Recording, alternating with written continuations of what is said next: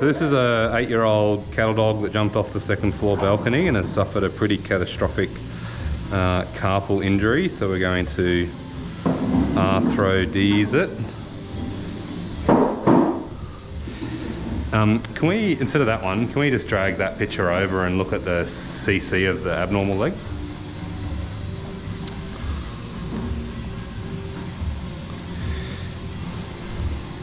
And so our plan is to use a 3527 uh, long VI locking pancarpal plate and our incision length. Not the longest of plates, is it? It's quite short at the top. Uh, and the incision length will be guided by the size of the plate, which is going to end about here and extend to about here. So we'll do a slightly medial incision. Gonna hold that.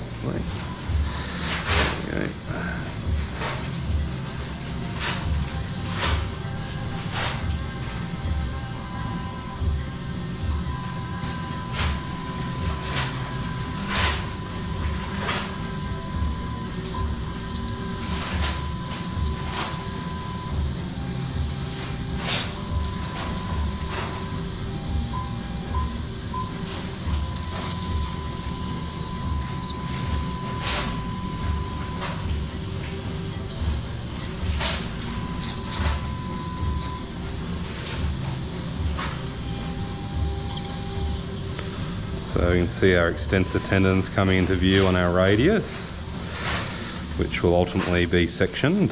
Um, our radiocarpal joints there, so we'll do a medial carpal incision and extend that down over our joint. So it's a bit of a scorched earth procedure. See all the edema within the tissues because of the injury.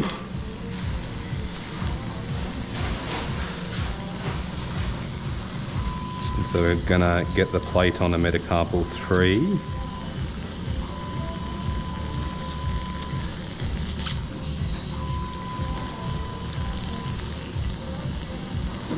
So these are our extensor tendons going on to 3 and 4 which will get elevated for exposure of the joint.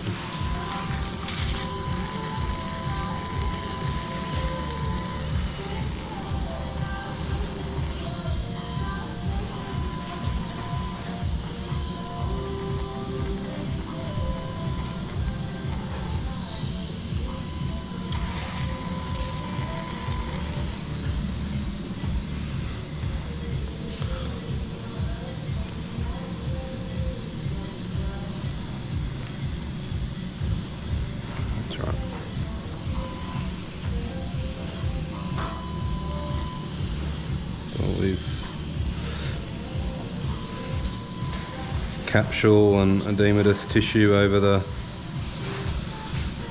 radiocarpal, antebrachiocarpal joint. These extensor tendons coming down onto three and four.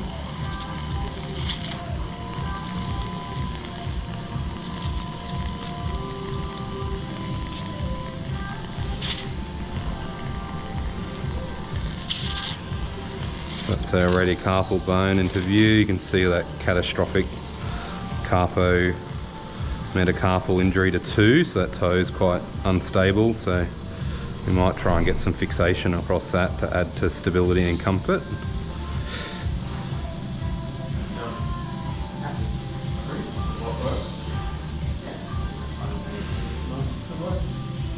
Did the block on this one. Did he? Great, good job, Taryn. Just remember when we go up to the shoulder, it may not work.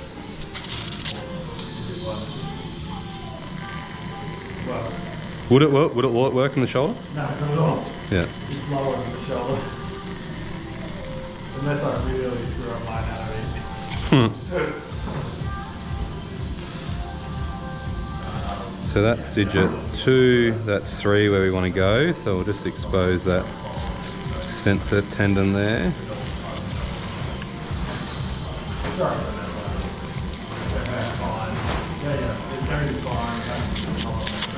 It's ulnar carpal bones coming into view just down there.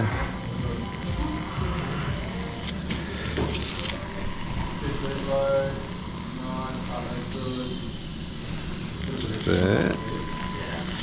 And then we might go down a little bit lower for our plate position.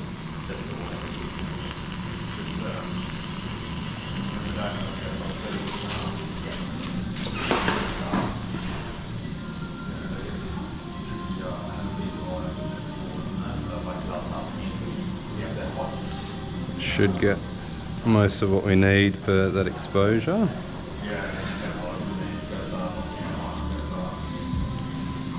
So we're just making sure our incision sits on the far side of where our plate will sit so that we don't have tension over our closure.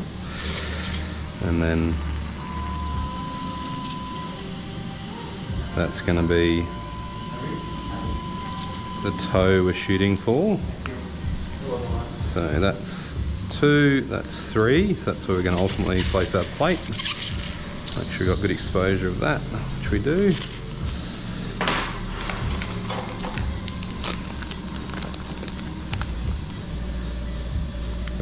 more than what we need, that's good.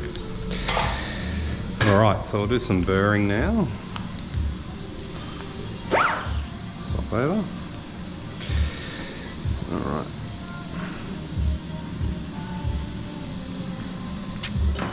So suck and flush when we're ready. Yep. Suck. So not where I'm going to be. Yep. Yep. Get flush, suck, flush, suck.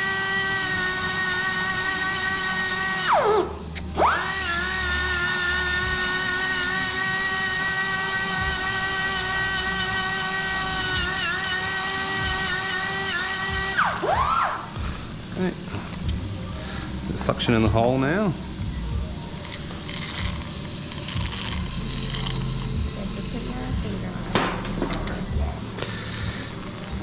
And then our retractor between those spaces turn sideways, create some space.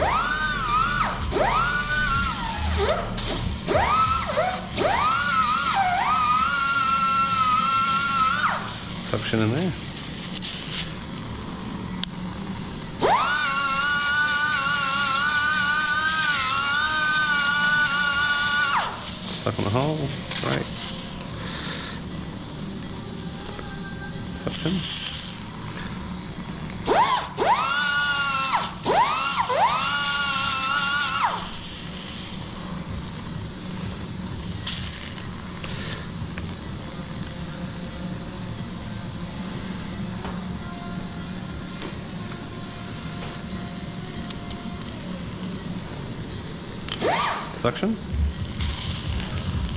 Just see that we can get up in the carpal bone space, lavage.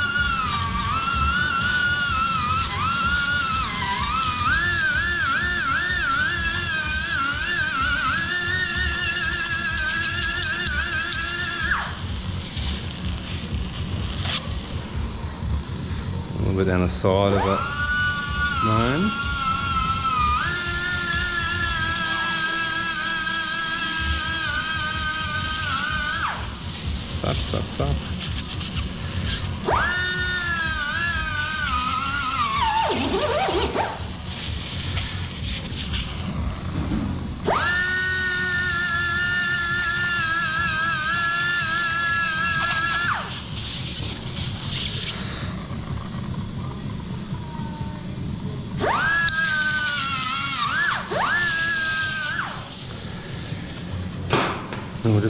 Forage out that joint space while we're here.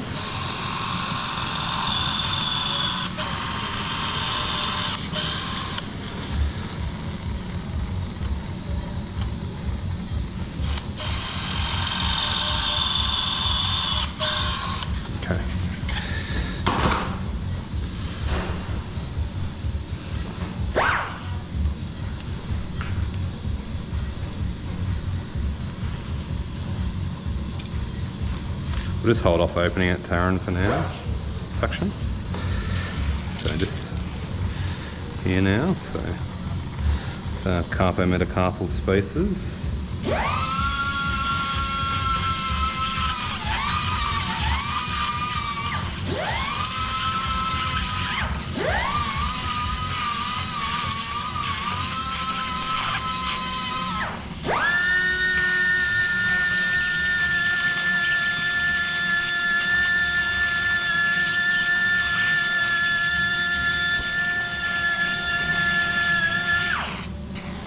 What a view. What a view.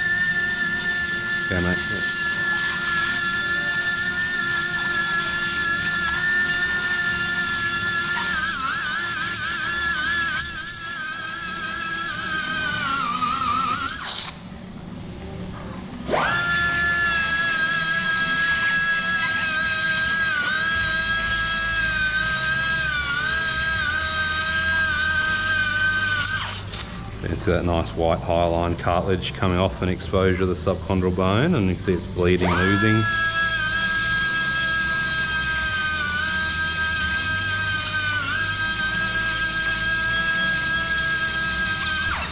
So that bleeding tells us that we're going to get fusion.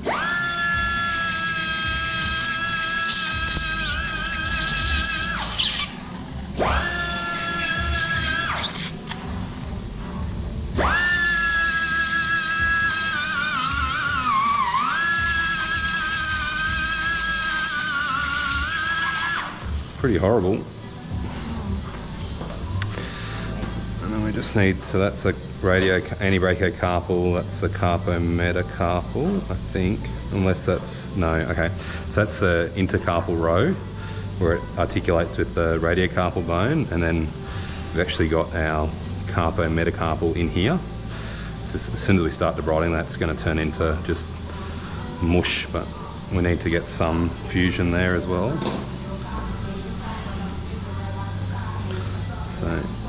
See that space in there and those articular surfaces there. So there are numbered carpal bones. So we need to debride that space as well. We'll go down to our smaller burr.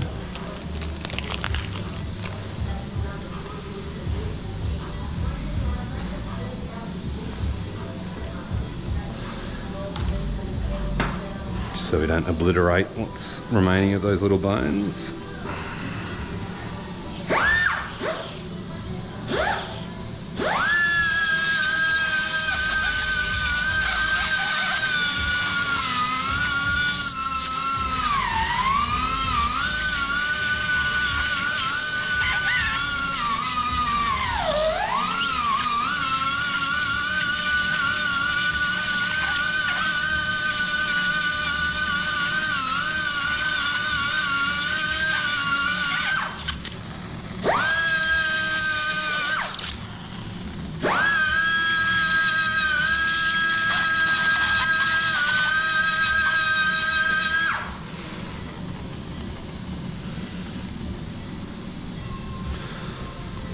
What a mush, what a mush. And that, that'll be the other numbered on the medial side.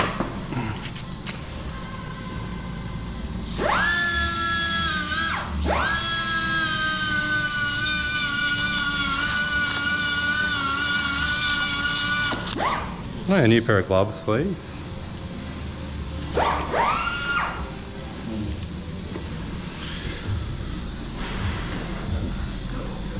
Grab the yeah, high, yeah. Thanks, mate. Let's try and grab the cuff with it. See the the gown, the gown cuff, yeah. Get going a bit more. Yeah, there I go. Great, thank you. And I'll go. I'll just put them at a hole in one.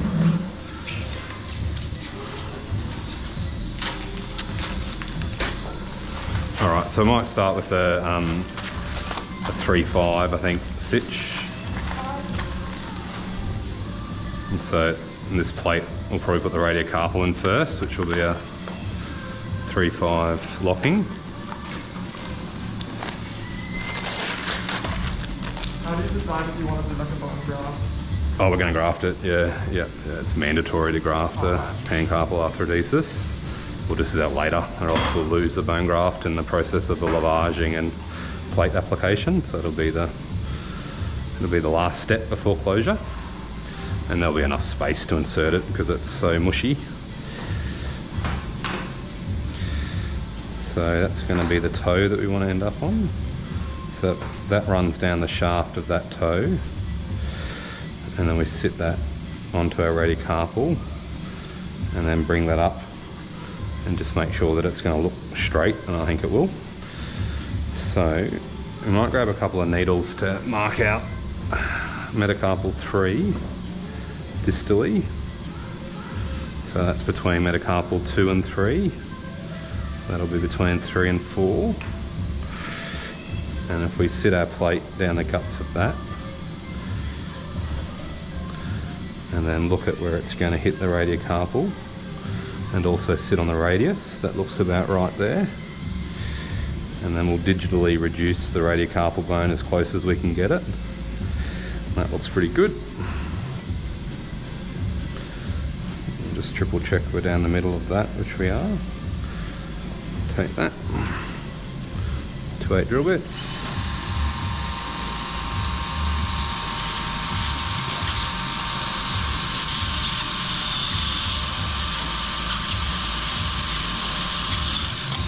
That's a nice solid bit of radiocarpal bone, which is good.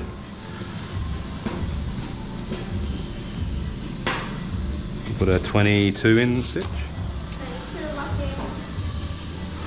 And so we'll compress the radius towards the radiocarpal, compressing the antebrachiocarpal joint, then we'll compress the metacarpal towards the carpal, which will compress our intercarpal space.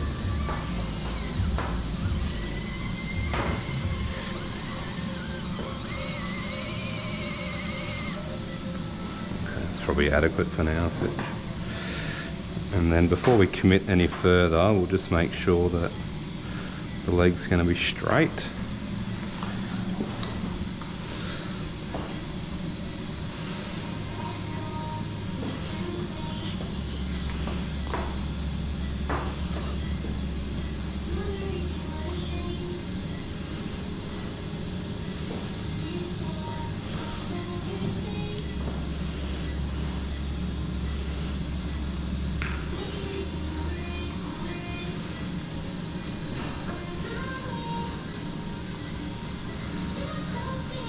Always a little bit of external rotation that happens, which I think is normal. They compensate with rotation of the foot.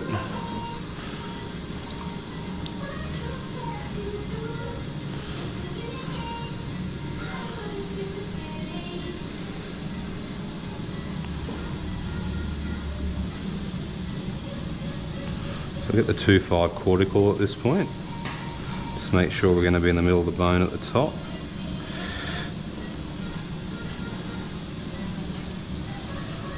Then we'll compress our distal compression screw.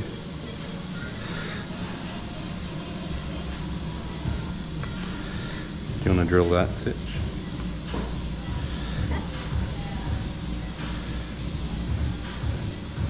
Just don't push in too hard. Yep. Okay. Yep. Go again. Good. Go for it.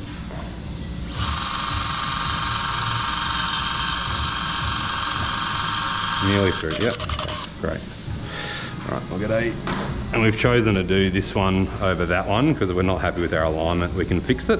But if we've done the most extreme one, we might have less flexibility with changing alignment. 22.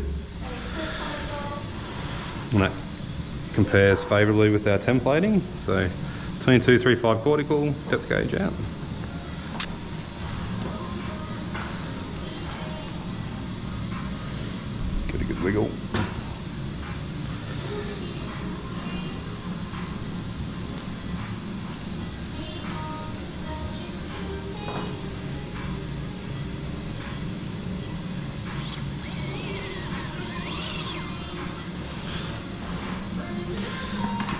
Tighten this in compression. It's compressing our antebrachiocarpal as best as it can. And the plate's close to the middle of the bone, which is good.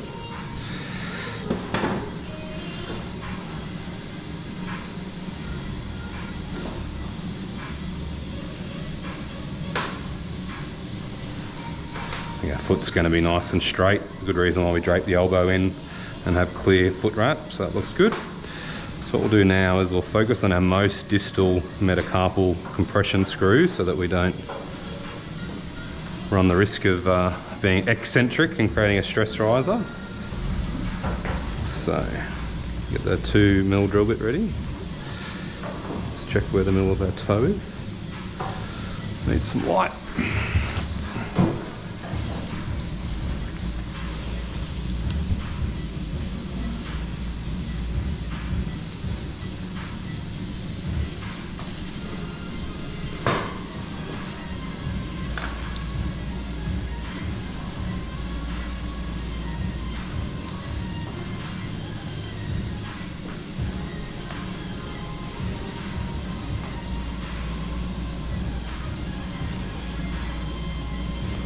The space. That's solid. That's off the side, so we need him to come around lateral a little bit. Get you to come around this side switch with the Hohmann and the drill.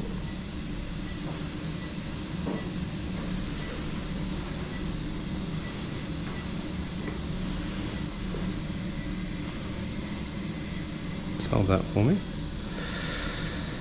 That's on the space between three and four. That's in the space suction.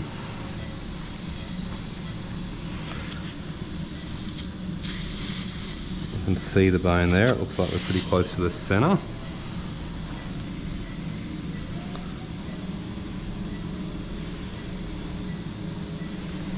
And more hands would be good.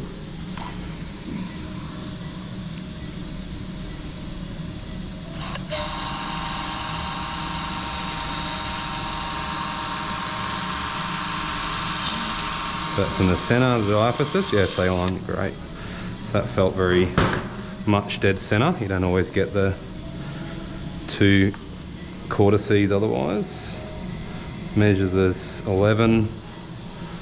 Are we going to put a 12 in?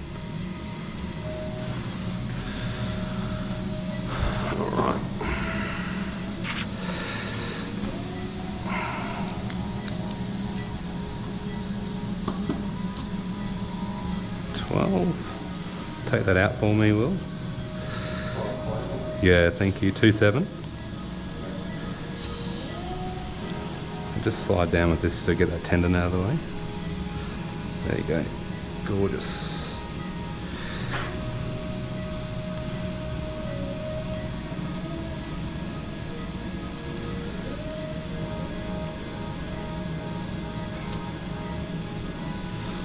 So that's pulled the toe to the plate, which is good. These plates are already a little bit offset, so should create that bend that it needs. So that all looks pretty good. So it's just a paint by numbers now. We'll go. Um, we'll keep the 2.7 on, and we might uh, compress this proximal one a bit further. So eccentric within a hole, saline.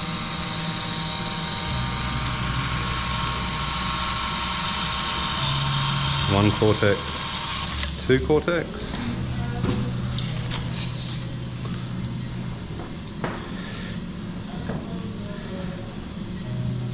That measures nine, so I'll put a I'll put a 12 in I think here. So 12 again, 2, 7 cortical. And so as this one approaches getting tight, we're going to loosen the distal one up so we can create some more interfragmentary compression. So loosen that up a bit, allow the plate to move, compress this one, see the plate slide, retighten this one.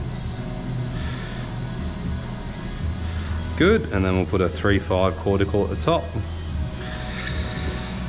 And we'll do the same thing, we'll try and walk that and compress that a bit as well.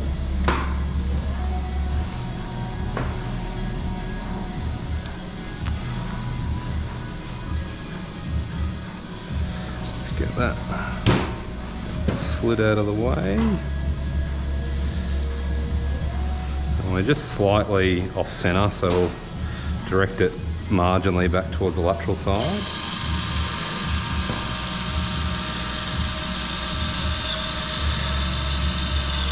two cortices.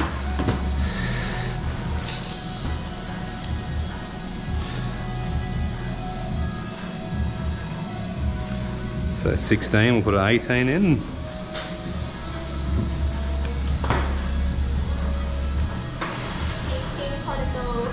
So same deal, we'll loosen this one a little bit as we tighten the next one. Just to allow for a bit more compression. Does the plate stay independently? Yeah, what do you think? What would be the decision making around keeping the plate versus not keeping the plate? The hand infected, then you wouldn't do that. Yeah, I guess so. If it's the place causing a problem, you take it out, but wouldn't electively remove the implant just just because. Um, you know, union takes a long time with arthrodesis, so you know, it probably takes four to five months before you could comfortably remove a plate in most cases. Um, there's a risk of refracture and things if the plate comes off. Um, but you're right, yeah. So the plate's problematic, like infection being the most common. Then we would look to manage the infection in the first instance, and then if it wasn't resolving, take the implant out. But it can be a bit of a can of worms.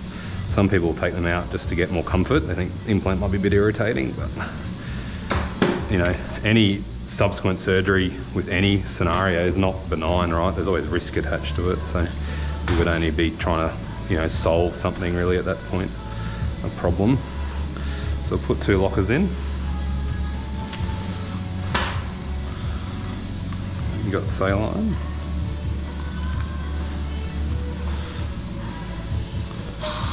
Okay. Cortex 1, Cortex 2,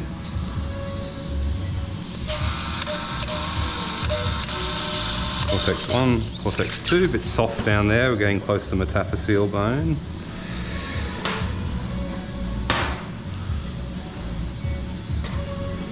So that measures 16. That measures 16, we'll put two 18s in.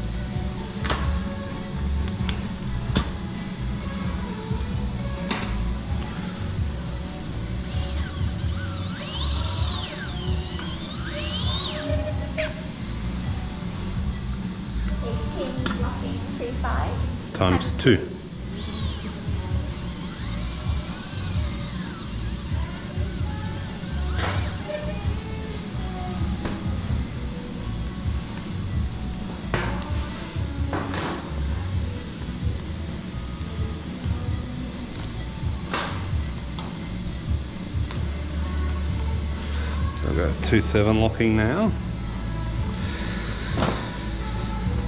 Mm-hmm.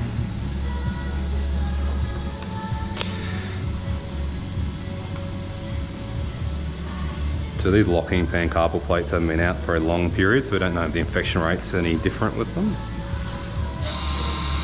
Stay on.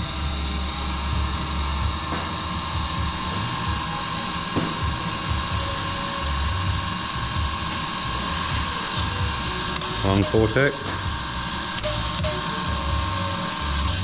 Two cortex.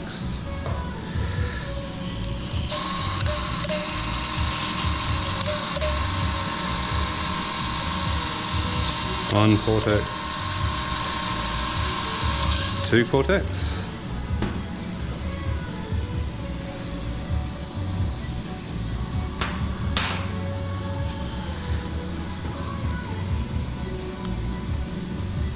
Go 14 Fourteen followed by 14. Seven. I'll power them in swi- switch. So I think that's nice and straight, which is job one sorted. And we'll get something attached to this toe. Yeah.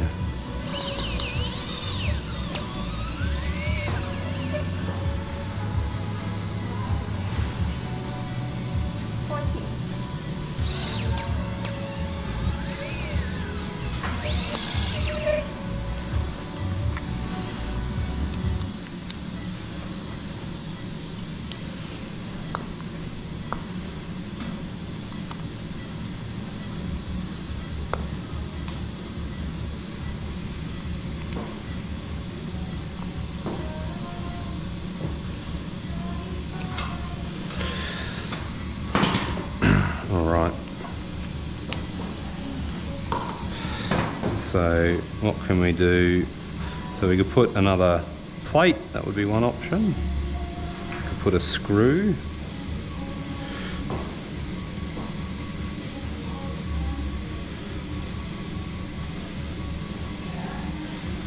Try for a screw. That might be the simplest way. So we'll get a, I think we'll just do a two mil drill bit stitch.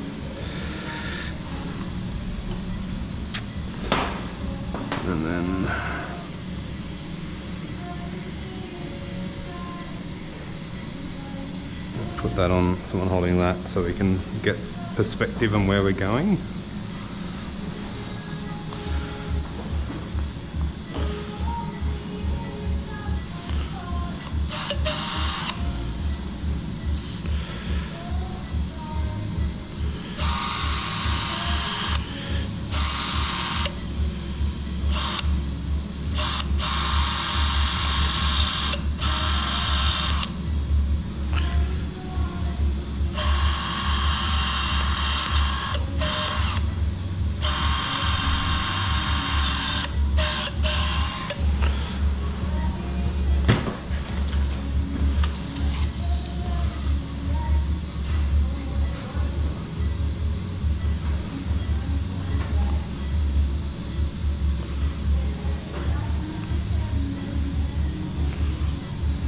Thirty-eight. What have we got in there?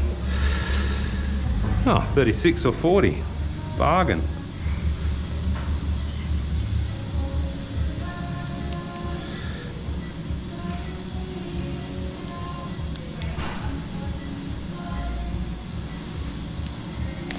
like 36 might be adequate.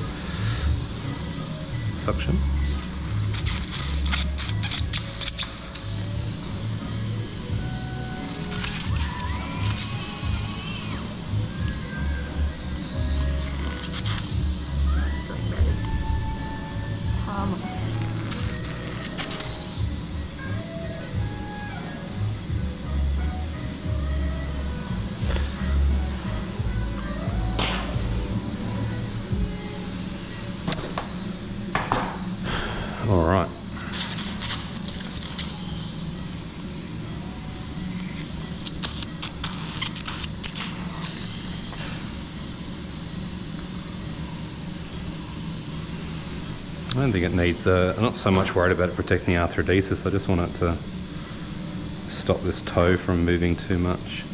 Which I think it's accomplished, I think it's engaged some of those bones, so we'll leave it as it is. And we'll go and get our bone graft. Alright, just hold that, Will. Alright. So yeah, do you want to give some of that methadone, Tarrant? There's the other finger, just push down there. So just feel for the front of the shoulder, humeral glenoid.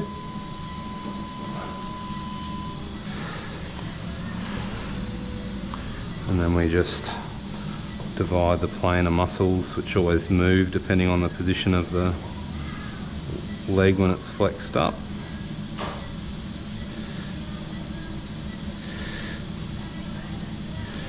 Gelpies.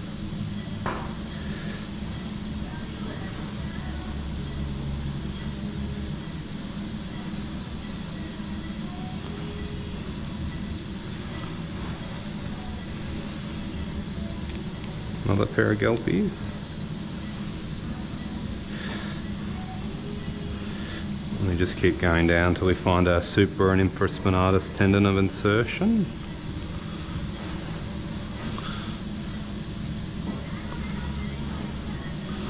So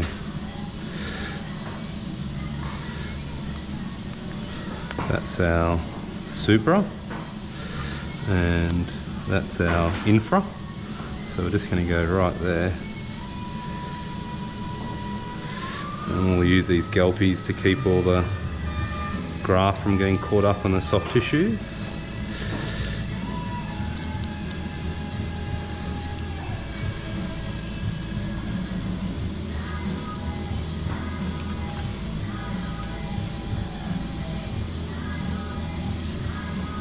So right there will be our target.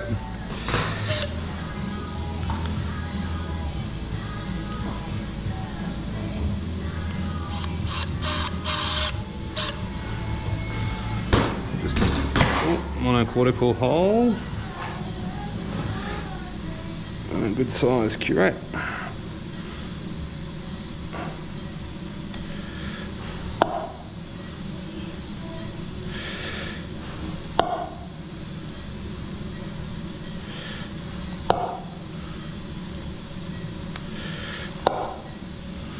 Get some um, 2.0 PDS, 3.0 Monocryl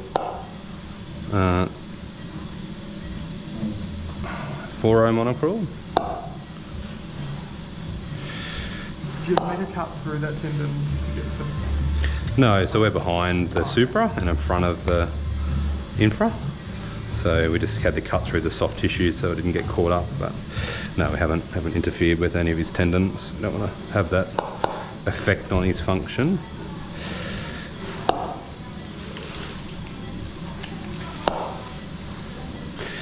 A bit awkward just because he's sort of rolled over and flexed up. If he was sitting in a neutral position, it would be a bit simpler. But to identify that anatomy.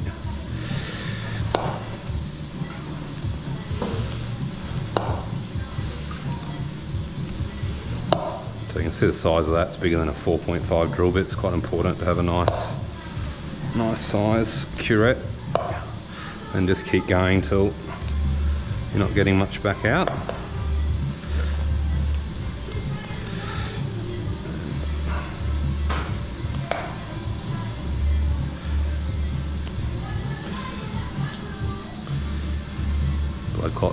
All done. Come back to that later. So you can relax. And we'll close this up. Give it a big flush and suck, and then we'll drop the graft in and suture close.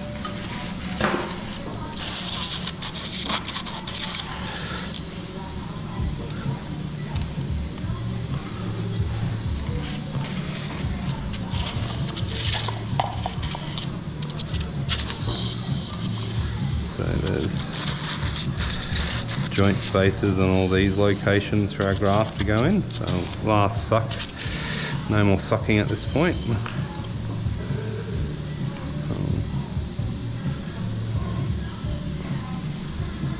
Slide that in. Yeah, we're just about to close.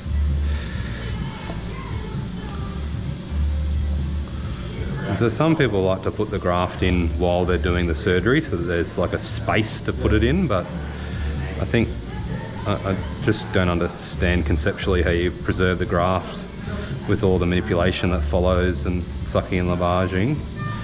And I think if there's no space for it to go in, that's good. You've got more likely to get bone union if you've got a small space.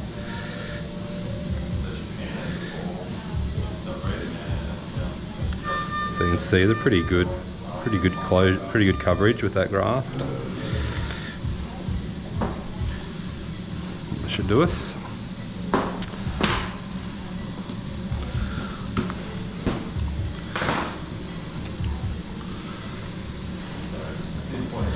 I'll put our tendon over the top as best as we can.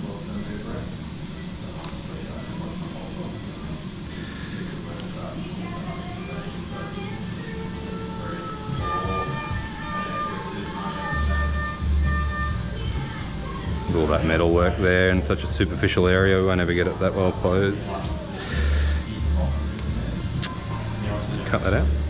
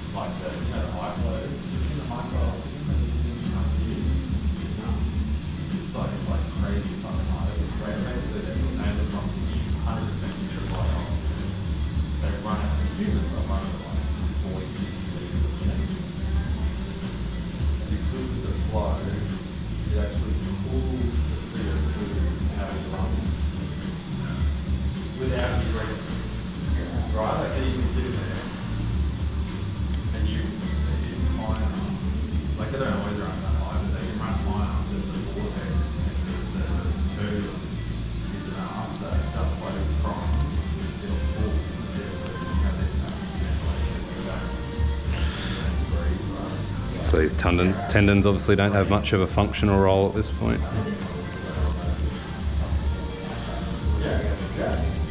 Got way more oxygen than me, right? Yeah. And so, like, my sister I thought that basically. Got any questions, Will?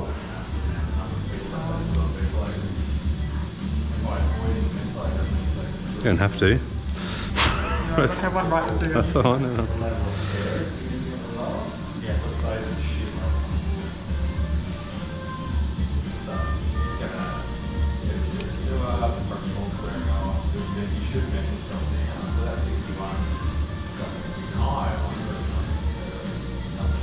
So we won't manage him with any kind of casting or anything like that outside of a soft padded dressing for the first two weeks while the wound heals, just to avoid any self mutilation or um, wound issues that might follow due to edema and swelling and that sort of stuff. The sort of evidence for any form of coaptation long term and these is severely lacking and so we want to keep it as simple for the client and the dog as possible. Reading uh, your paper, it looked like it was quite a wide range of like the complication rates. Yeah, and I guess that was what I wanted to show in that paper. Oh, I think that that's real. Yeah, it's not. They're real numbers. Like I tell clients that one third of these dogs are going to have a significant problem. It's always manageable, but uh, it's hard to see how, with that consistency of evidence, it would be lower.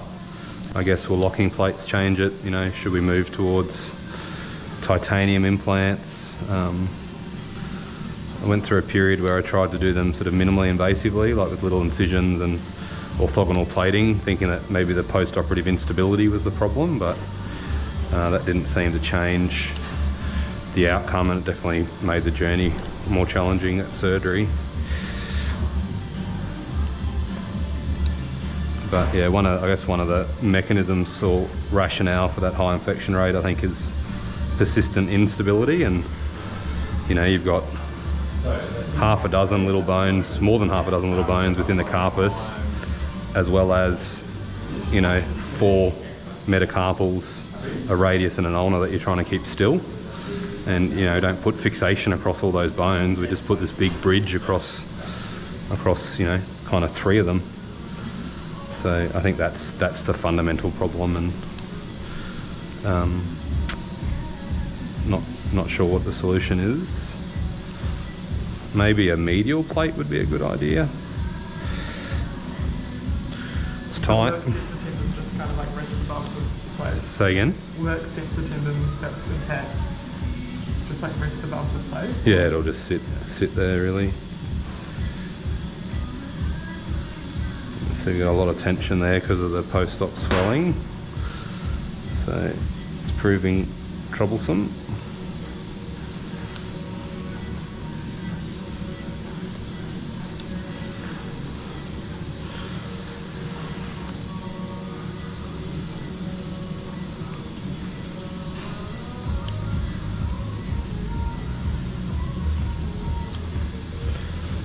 Yeah, I mean, you could theoretically resect the tendons. Like, at some point, they're to have to be sitting somewhere.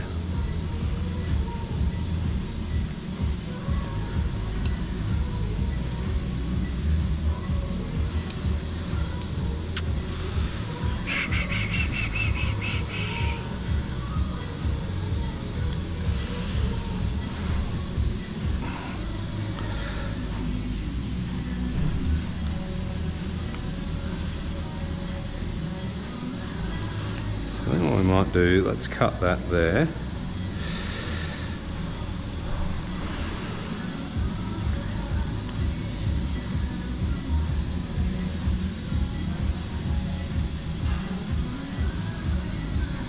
Hold that over there for me, Will.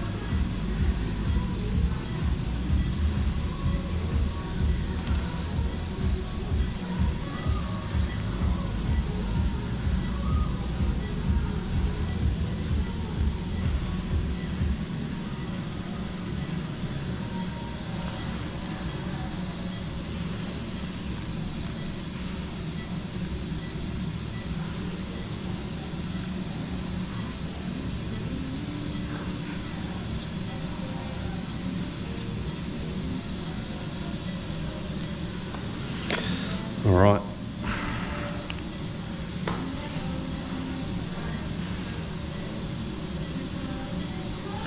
Pretty tight.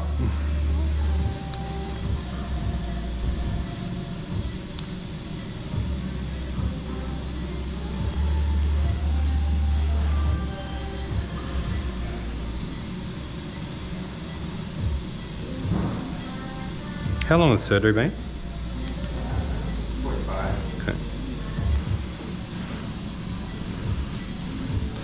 So there are some plates that are marketed as castless plates and they have more screws and wider and engage multiple metacarpals, but there's actually no evidence to suggest that these standard straight style plates need a cast and I think if you speak to people that are doing the surgery they're not seeing short-term mechanical failures. Um, the issues are infection and delayed arthrodesis and implant failure with cyclic fatigue and you know, having a cast on for six weeks doesn't reliably change that and it definitely increases morbidity and cost and complications I think.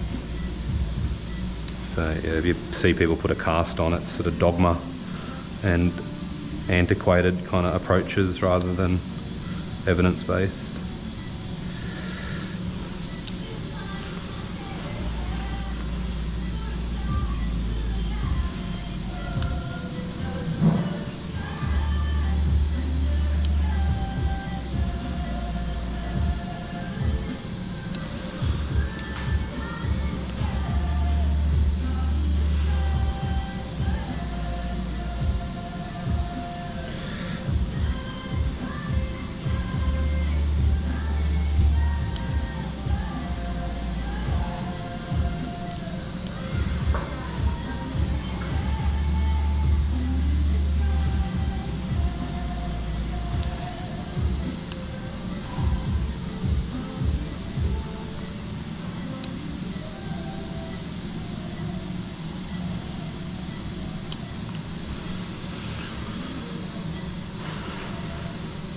So if we were really worried about the pressure and the tension on closure, we could do a releasing incision, but I think um, it'll settle in 48 hours.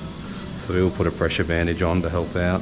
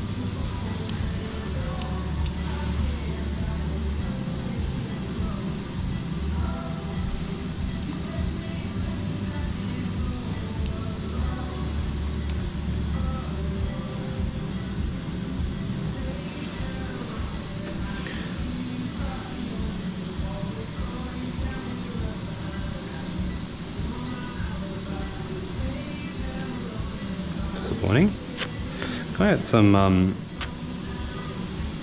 4 skin suture, please?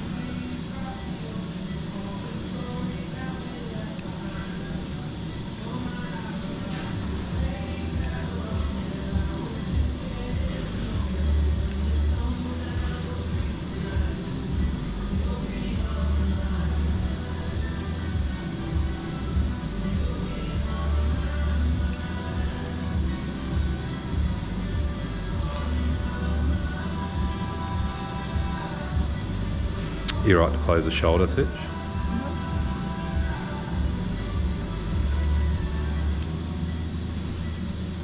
just want skin cut too?